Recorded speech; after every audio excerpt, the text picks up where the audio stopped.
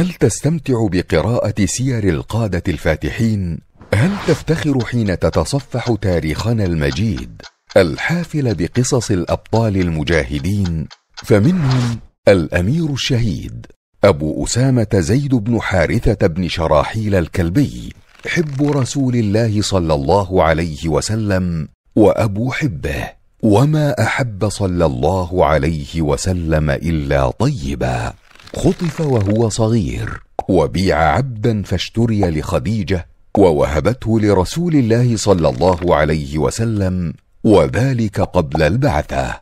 فلما جاءه أبوه وعمه يطلبانه خيره النبي صلى الله عليه وسلم بينه وبينهما فاختاره عليهما فكافأه بأن تبناه فكان يدعى زيد بن محمد. ثم حرم التبني بعد ذلك.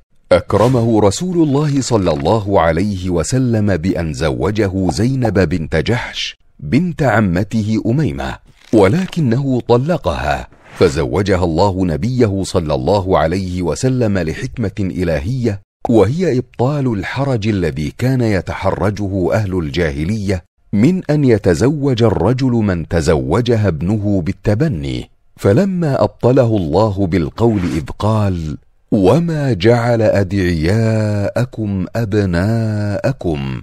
أكد إبطاله بالفعل حتى لا يبقى أدنى أثر من الحرج.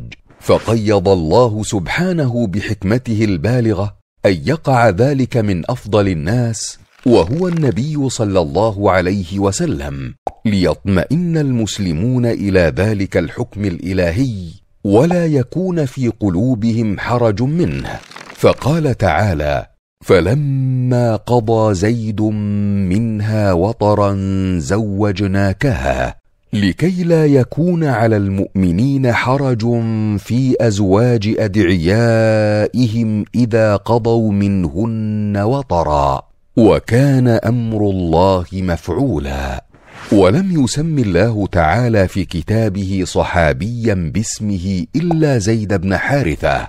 أمره النبي صلى الله عليه وسلم في غزوة مؤتة وأثنى عليه بجدارته بالقيادة فقال مدافعا عن ابنه أسامة إن تطعنوا في إمارته فقد كنتم تطعنون في إمارة أبيه من قبل ويم الله إن كان لخليقا للإمارة.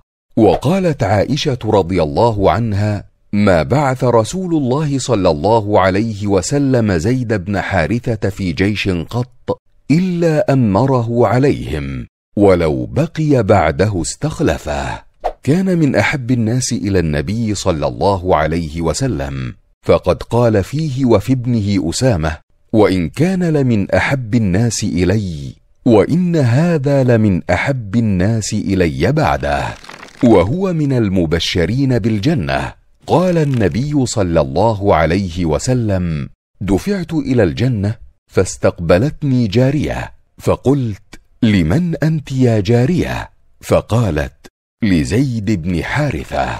استشهد زيد رضي الله عنه في غزوة مؤتة وهو أول الأمراء الذين عينهم رسول الله صلى الله عليه وسلم. وذلك في جماد الأولى سنة ثمان من الهجرة وهو ابن خمس وخمسين سنة رضي الله عنه وأرضاه.